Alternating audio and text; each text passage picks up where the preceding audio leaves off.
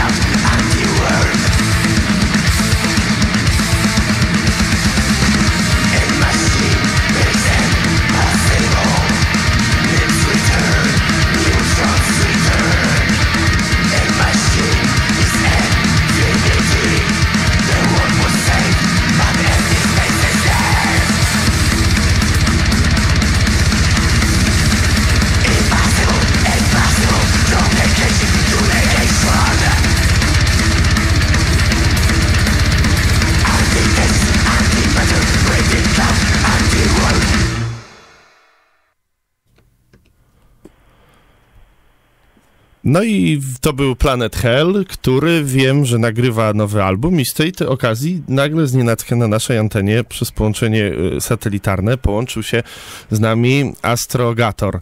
Halo, halo? No halo, halo, y, łącza się trzymają dobrze. Witam ponownie w, w Zakładzie Patologii Dźwięku. Miło słyszeć. Yy, powiedz, z jakiej, yy, z jakiej konstelacji do nas nadajesz? No, witam z kwatery głównej Planet Hell, czyli z planety Katowice tym razem. w Planet Hell wiem, że nie próżnuje i mm, zamierzacie wydać z siebie kolejną, kolejny twór, planetę? Kolejną planetę chyba, co? No, misję drugą, Mission 2. Planujemy, że po wakacjach płyta się ukaże. Myślę, że to będzie koniec października, początek listopada. E, czy to będzie również płyta z kosmicznym death metalem? Jak najbardziej y, koncept y, albumu całości będzie oparty o dzieło mistrza Lema, y, tym razem tylko o jedną książkę Solaris. No to dosyć trudny temat. Amerykanie w swoim filmie nie podołali. Trzymam za was e, kciuki, bo na pewno nie będzie to łatwe w formie tekstowej. Nie boisz się e, konkurencji w tym roku z Nocturnusem AD, który zapowiada się całkiem, całkiem zacnie. No, wiesz co, z, Nocturnusem nie, nie mogę konkurować, bo oni zaczęli dużo wcześniej niż my. Natomiast y, jeśli chodzi o tę naszą część Europy i, i dziedzictwa muzyczno-literackiego, no to Myślę, że ten, ten nasz wkład będzie zupełnie, zupełnie inny i na pewno wartościowy. Yy, zobaczymy. No dobrze, za to trzymam kciuki. Drodzy słuchacze, ja nie zaprosiłem e, tutaj e, Astrogatora tylko na pogawędkę o, e, o tym, co przed nami, bo o tym pogadamy sobie, jak już album będzie gotowy, tylko zaprosiłem go. Zewnętrzna konsultacja patologiczna. Zaprosiłem go też, żeby e, w swojej rozległej e, bibliotece muzycznej e, wybrał dla nas jeden kosmiczny utwór, który na pewno i wam się spodoba. W ogóle gratuluję pomysłu na temat koncepcyjny audycji, bo, bo takich koncepcyjnych audycji muzycznych jest bardzo mało. U nas zwykle się puszcza pojedyncze utwory i bez jakiegokolwiek związku i, i składu. Y, także chylę czoła i, i, i y, proszę o więcej. Natomiast z mojej strony, y, ponieważ wszyscy wiedzą, że jestem wielkim fanem Wojwod, to mm, chciałem zaproponować utwór Phobos z płyty Phobos. Troszeczkę może ostatnio zapomnianej, bo mimo wspaniałego powrotu zespołu Wojwod z nowym materiałem, to na koncertach jest głównie grany materiał klasyczny, troszeczkę pomijane są utwory z epoki Erika Foresta, czyli z Negatron i Phobos, a ten utwór Phobos robi taką atmosferę, że ja do dzisiaj dostaję gęsiej skórki, jak tego słucham.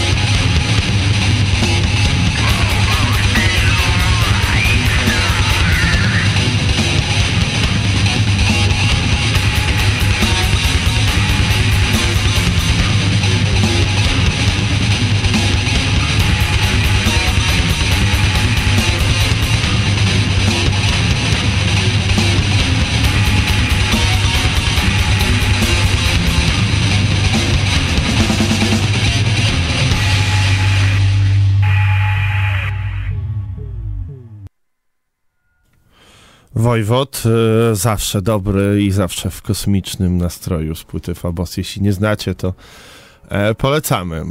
E, to teraz zagramy zespół, który można powiedzieć założycielem jest kosmicznego death metalu i wraca z bardzo zacznie zapowiadającym się albumem, który już w maju 24 Paradox będzie nosił tytuł ten album. Profound Lore Records to wyda, a zespół nazywa się Nocturnus.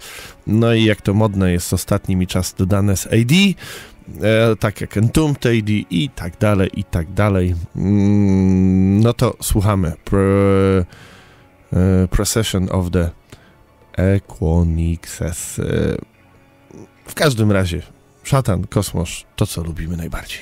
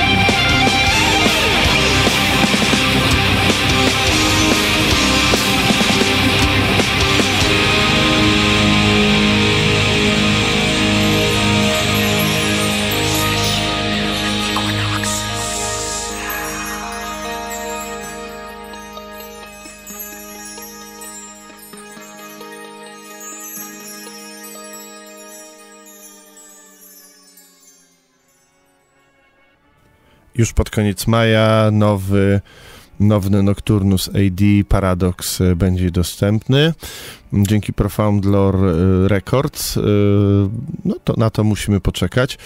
A teraz jeszcze jeden album, na który trzeba będzie poczekać. Nazywa się Cold Black Suns. Wyda go Season of Mist i jest to mm, album, który wyjdzie 7 czerwca a jego twórcą jest belgijski zespół Entront, y, który, o którym dawno nie słyszałem i wraca z takim oto kosmicznym e, black metalem, no bo cóż innego może grać Entront.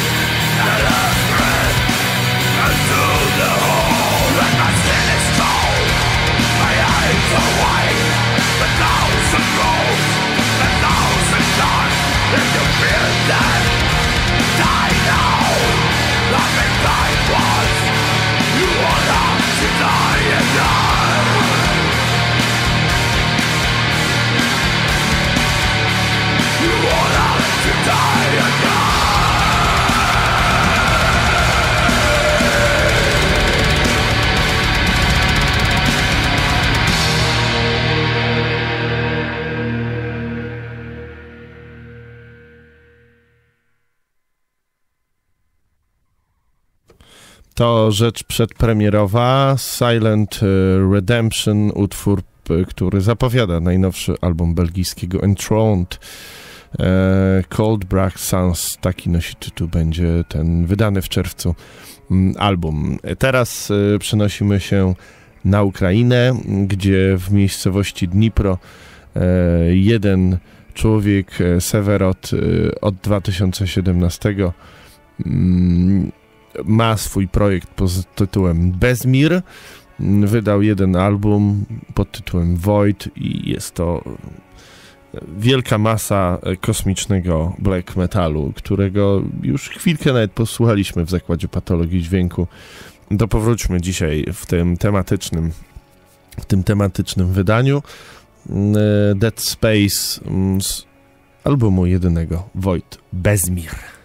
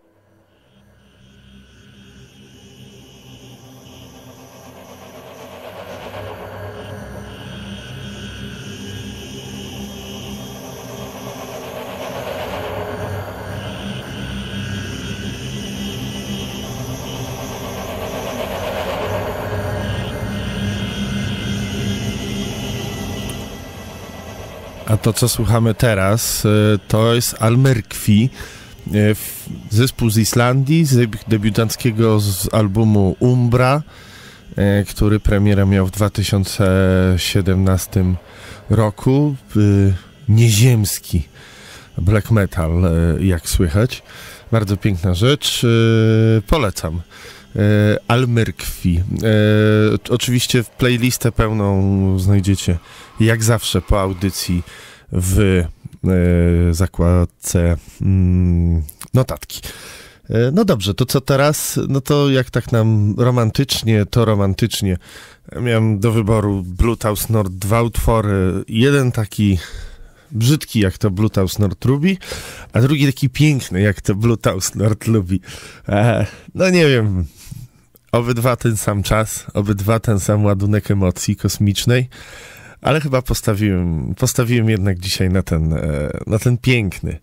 Może to wiosna. E, Z Memoria Vetusta, bo ten drugi to był z 777 Kosmozofii. E, Ale niech będzie z Memorii Vetusta. Dialog z gwiazdami.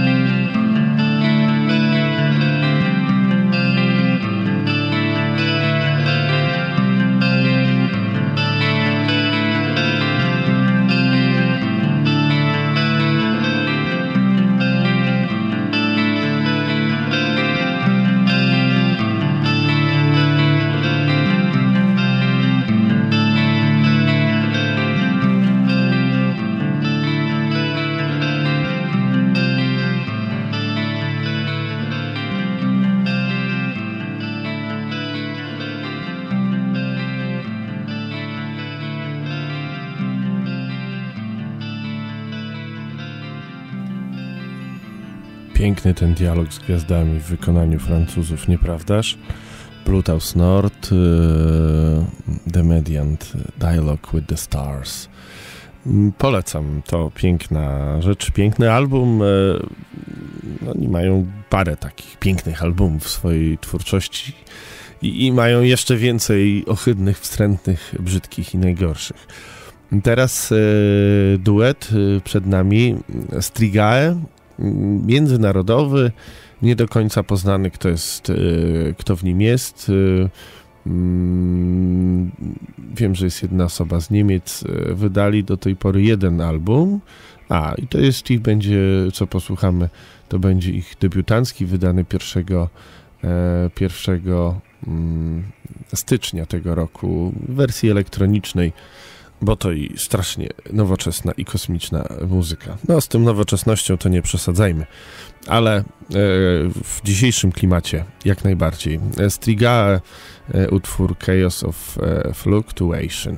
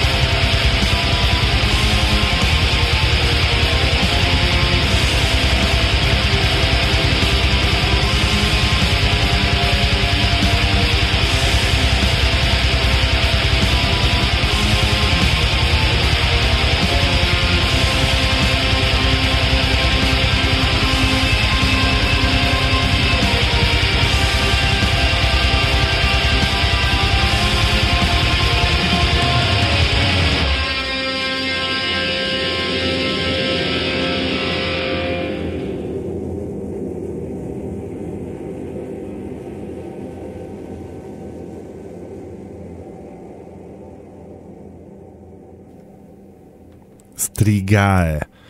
Duet y, pochodzący z różnych y, krajów y, z płyty Eye Collision mm, do usłyszenia na Bandcampie, tam też y, do zakupu. Bardzo świeża rzecz, początek tego roku. A teraz będzie ta, całkowicie tajemniczy, nieznany, nie wiadomo skąd, jak i gdzie, e.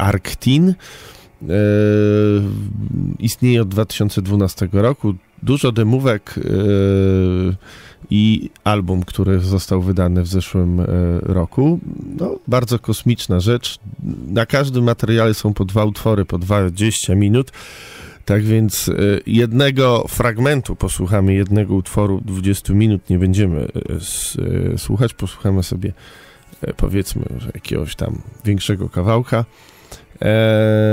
No i tak, nie wiadomo jak tytuł płyty jest e, napisany e, azjatyckim alfabecie, e, tytuł utworów e, tak samo, tak więc e, poza tym, że to się nazywa Arctin, to nie wiemy nic, ale posłuchać tego kosmosu, jak zawsze w Zakładzie Patologii Dźwięku możemy.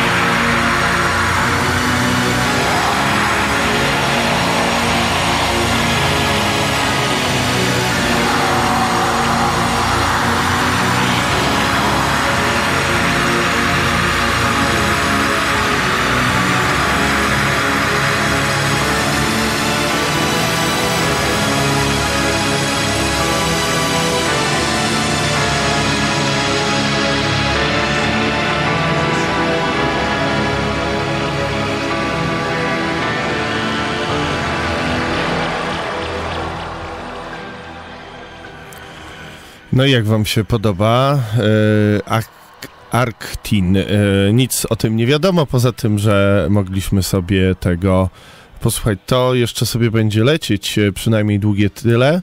Drugie tyle. Dwa utwory na każdym materiale, każdy zawsze po 20 minut. Y, I taki tajemniczy mm, twór Actrin e, w zakładzie patologii dźwięku. E, A teraz coś, co polecił słuchacz. E, Bardzo podobne logo do zespołu Nucleos, którego dzisiaj słyszeliśmy.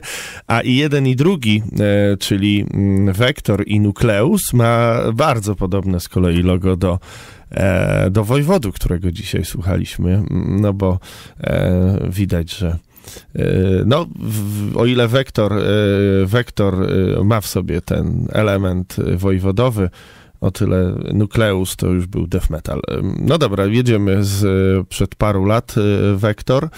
Mm, amerykański zespół, album z 2016, Terminal Redux, e, no i z niego utwór LCD, Liquid Crystal Disease.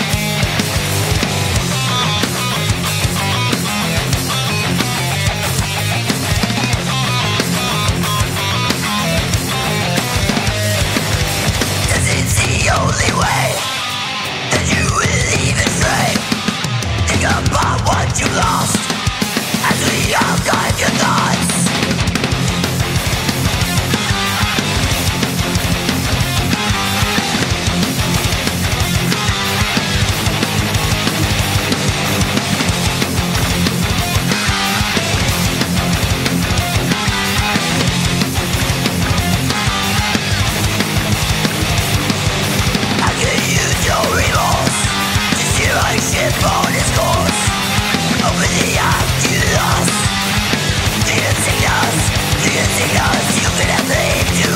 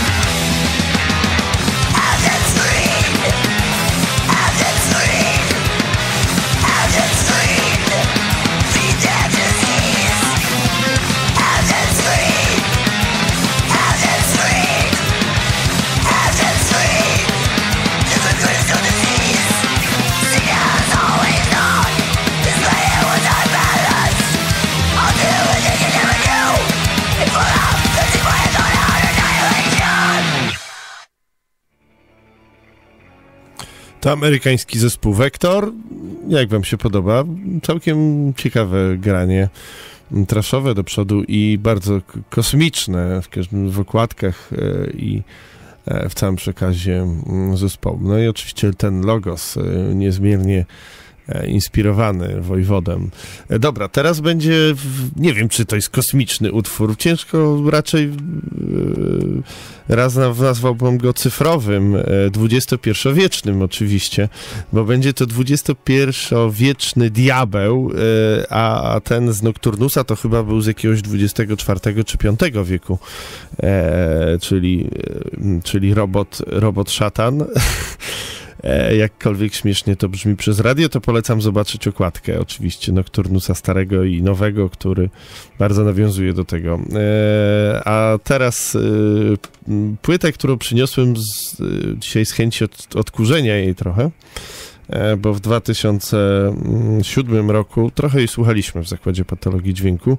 Niejednoznaczny to album i na koniec taki hicik e, się trafił zespołowi Dotheimsgard z Norwegii e, na płycie Super Livian Outcast. E, No to posłuchajmy, XXI-wieczny diabeł.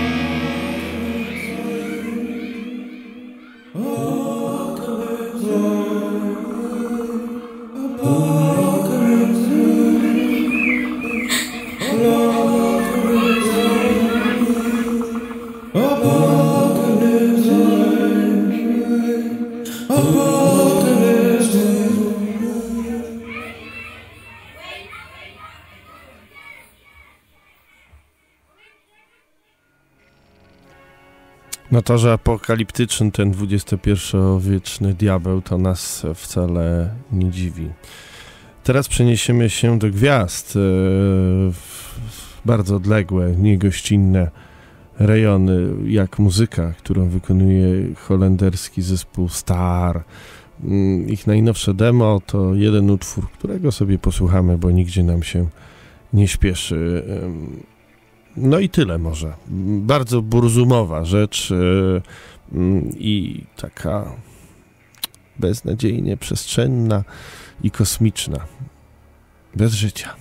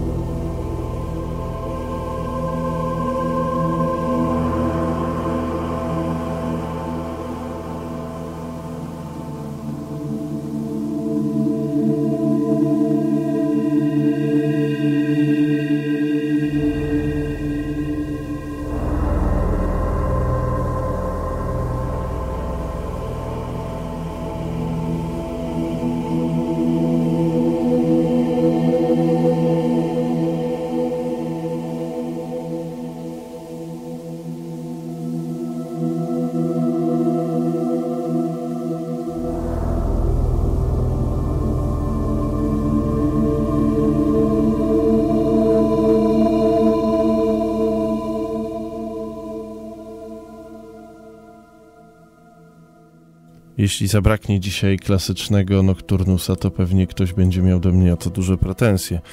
No to zagrajmy może. Sektor droidów e, sprzed oho, ilu lat albo jeszcze więcej. A w tle jeszcze holenderski Star.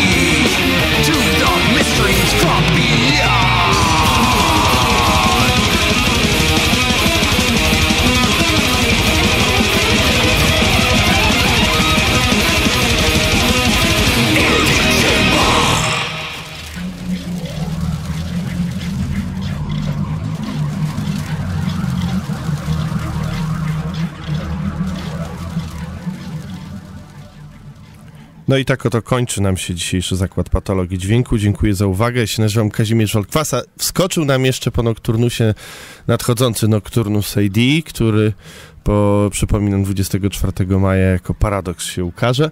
Na dobranoc e, Dark Space ze Szwajcarii, e, bardzo kosmiczna muzyka e, i niezwykle mroczna. Dziękuję za uwagę. To był trzygodzinny zakład patologii dźwięku, całkowicie oddany kosmosowi. Dobranoc, pięknych kosmicznych snów.